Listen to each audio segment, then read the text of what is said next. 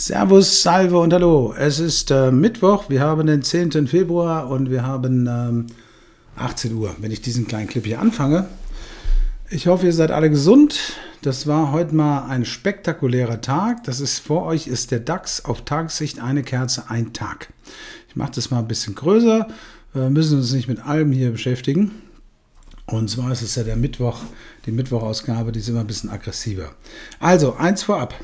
Ähm, manche Werte drehen hier hohl, aber teilweise auch mit Recht. Zum Beispiel diese ganzen Kifferaktien, die werden salonfähig. Ja, das muss man einfach so sagen. Die werden salonfähig und äh, den Deal, den Tilray da gemacht hat, den halte ich für richtig gut. Also schon erstaunlich. Heute war der Tag, beziehungsweise gestern fing es an, da habe ich das erste Mal seit 30 Jahren Heidelberger Druck gehandelt. Meine Güte. Heute ist aber auch der Tag, wo Tesla deutlich fällt. Ähm, tja, es kommen überall jetzt so die Berichte so über Nacht auf der Autobahn festgesessen. Ja, was mache ich denn, wenn ich ein Elektroauto habe? Wie lange hält denn dann die Heizung? Ich kann das selbst nicht beurteilen. Ich habe keins. Ich werde so in vier, fünf Jahren eins kaufen, wenn die Dinger mal 1000 Kilometer fahren. Aber vorher mache ich das nicht. Aber das ist einer der Gründe, glaube ich, warum Tesla fällt. Ich finde, ähm, da bin ich jetzt beim Bitcoin. Ich finde es in Ordnung, wenn der Elon Musk Bitcoin kauft. Es ist sei ihm gegönnt, soll er machen, viel Spaß damit. Ähm, ich würde mir eher einen Einlauf geben lassen mit Ahornsirup und mich mit Freuden auf einen Ameisenhaufen setzen, als Tesla zu kaufen auf diesem Niveau, aber das ist jedem selbst überlassen. Ich ähm, frage mich halt, warum er das dann unbedingt hinterher breit treten muss. Das Warren Buffett macht es nicht. Warren Buffett kauft irgendwelche Aktien und nach drei, vier, fünf Tagen muss er eine Ad-Hoc-Meldung machen. In Amerika, hier auch, weil er irgendeinen Prozentsatz überschritten hat. Das ist in Ordnung. Ja.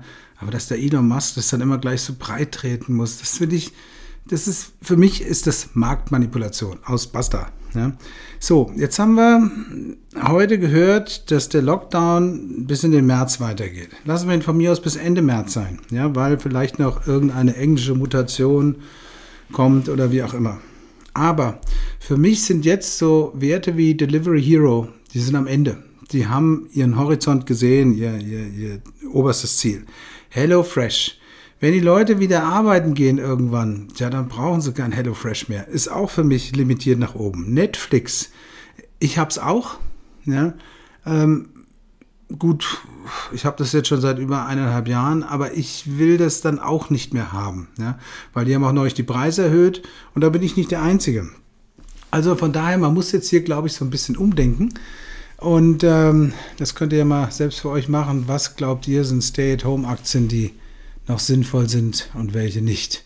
Ich denke, dass zum Beispiel diese norwegischen Lachsfirmen jetzt wieder ein Go kriegen. Ich denke, dass sowas wie TUI, da muss ich dazu sagen, ich habe welche, dass die jetzt auch auf Sicht von einem halben Jahr tendenziell ihren Boden hier gesehen haben und eher weiter steigen oder weiter wieder steigen werden. So muss ich es formulieren.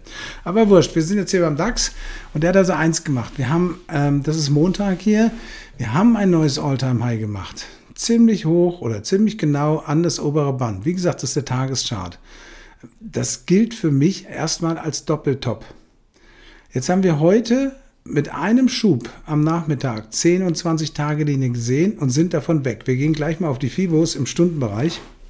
Das sieht nicht so schön aus.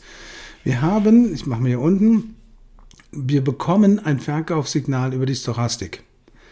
Wir werden negativ über das MACD sowohl in der modernen als auch in der traditionellen Sichtweise. Die 20-Tage-Linie bei 13.848 wurde heute gesehen, das heißt die Mitte der Bänder. Die Bänder sind nicht besonders breit, das ist völlig normal, da kann man gar nichts äh, von sagen. Aber wir sind von dem unteren Band richtig fett hoch auf das obere Band und davon abgeprallt. Ja, die Bänder sind wichtig, das ist eine echt wichtige Herangehensweise, das sollte man nicht vergessen. Aber jetzt gehen wir mal hier auf den vier Stunden. Vier Stunden hat sich ziemlich genau am High, das war hier, hat sich ziemlich genau am High dann so langsam mal verabschiedet und ist dann runtergegangen gilt als tief, aber in keinster Weise überverkauft. MACD auch negativ. Die Bänder gehen auf, nicht besonders dramatisch, aber sie gehen auf. Wir sind momentan, also jetzt hier um 18.04 Uhr, sind wir deutlich unter dem unteren Band. Das ist nicht schön. Das darf ich nicht mögen. Ich habe hier eine Unterstützung, die kommt von diesen beiden Kerzen hier und verbindet sich fast mit dem unteren, äh, mit der 200er, mit dem 200er gleitenden Durchschnitt. Da sind wir so im Bereich 13.722. Das ist eigentlich mein allererstes Ziel. Bis dahin sollte die jetzt eingeläutete Bewegung gehen. Jetzt gehen wir auf die Stunde. Und da möchte ich mal Folgendes mit euch machen. Ich gehe, Moment, ich setze mal die Bollinger Bänder an. Hier haben wir die zwei Hörner, so nenne ich die. Wir gehen hier runter und mit Mühe und Not sind wir nach dieser ganzen Bewegung hier hoch an das 38er gegangen. Mit Mühe und Not. Die Bänder gehen auch auf. Auf Stundensicht halte ich die Bänder schon für gut. Auf 5 Minuten Sicht, ich kenne viele, die das machen, finde ich das gar nicht so prickelnd, muss ich sagen. Ähm, die Bänder gehen auf. Erst wenn das obere, das der Bewegung entgegengesetzte Band die Richtung ändert, dann ist für mich die Bewegung hier fertig. Ich glaube, bleibe dabei, dass wir diesen Bereich um 13.800, 13.777, dass wir das erstmal sehen müssen und dann weiterschauen. Das ist meine Meinung. Und so will ich euch auch die Scheine verraten. Ich habe einen Schein gefunden hier. Das ist ein 13.656er. Da sind wir also, jetzt muss ich ein bisschen hochdrehen, da sind wir ungefähr, ups, jetzt ist er weg. Da sind wir ungefähr hier. Ich werde keine Calls kaufen momentan. Also jetzt mal für die nächsten drei, vier Tage. Ich werde das nicht machen. Ich rechne dass wir damit, dass wir diese Lunte hier nochmal sehen. Mit der beschäftigen wir uns immer. Bei 13.822. Das glaube ich schon. Deswegen, ich warte jetzt hier mit dem Kauf von Calls. Ich bin eher put-orientiert.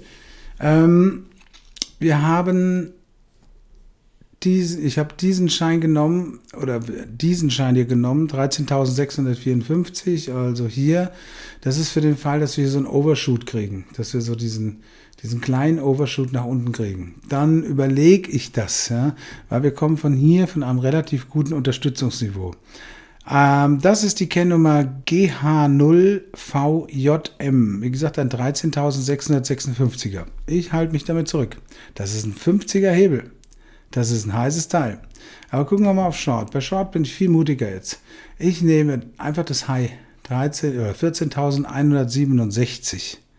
Und ähm, da gucke ich auch mal, was wir hier haben. Das hier, das passt ganz hervorragend rein. 14.211 ist auch ein 50er Hebel. Das ist, eine, das ist keine kleine Option. Das ist die Gustav Dora 4 Richard Unsinn Paula GD4 RUP. Da sind wir also ein bisschen hier dahinter. Ja, mit ähm, 14.211. Weil ich glaube, dass wir mindestens das hier sehen. Und je nachdem, wie schnell es geht, weil wir über ein Tagessignal da Verkaufssignale bekommen, dass wir einen deutlicheren Move nach unten kriegen. Ich habe momentan keine Lust auf Long, ich will es nicht haben, außer in den genannten Werten, wie zum Beispiel, und ich muss nochmal sagen, ich habe eine Position da drin, TUI zum Beispiel, ich glaube, auf Sicht vom Sommer werden jetzt die Leute anfangen zu buchen und dann wird das TUI zum Beispiel helfen. TripAdvisor, Accor Hotel, ähm, Royal Caribbean Sea. Diese Geschichten, das ist dann jetzt eher was, was kommen kann. Ich wünsche euch ein Happy Trading, fette Beute. Am Freitag werde ich keinen Film machen können. Ich hoffe, dass ich den am Samstag hinkriege. Ich wünsche euch was. Alles Gute. Bye bye.